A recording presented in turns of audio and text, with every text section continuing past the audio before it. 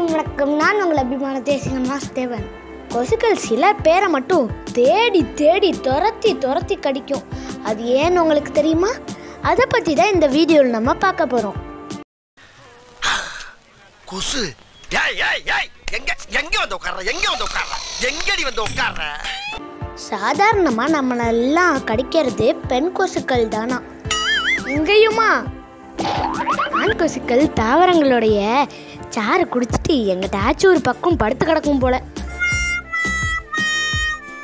பெண் கொசுக்கள் யாரை கடிக்கணுன்றத தன்னுடைய பார்வை சக்தியாலையும் மோப்ப சக்தியாலையும் தான் கண்டுபிடிக்கும். அதோட உணர்கம்புகள் மூலமாக எழுபத்தி ரெண்டு வகையான மனங்களை அதால் ஸ்மெல் பண்ண முடியுமா?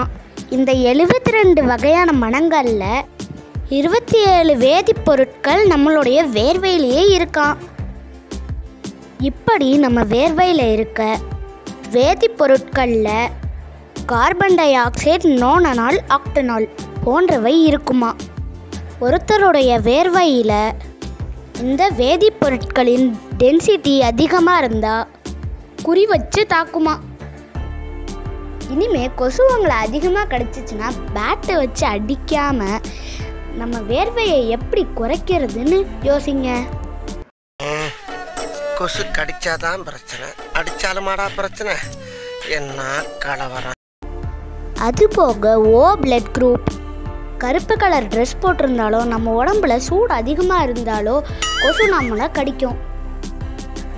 எத்தனை வகையான மருந்துகள் கண்டுபிடிச்சாலும் இன்னும் இந்த கொசுக்களை அழிக்க முடியல அப்படின்றது தான் சோகமான செய்தி.